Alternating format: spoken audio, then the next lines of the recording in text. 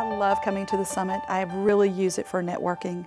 You know, it's one thing to talk to your customers or email your customers, but when you meet them face to face, it just brings everything to a whole new level. Talking to the GHX staff and uh, as well as the other customers that are here, um, sharing ideas, sharing um, concerns and pain points, um, and sharing the way that uh, those have been overcome. I've personally seen a lot of connections with other customers um, of GHX, uh, folks who use our same systems, folks who are similar size, and um, it's been very beneficial to me to be able to exchange ideas. So um, those, those have probably been my, my favorite moments. One of the things that's great about the summit is we get to connect with old colleagues. So previous director, previous manager, and my team now, we all get together and we catch up, we spend time together.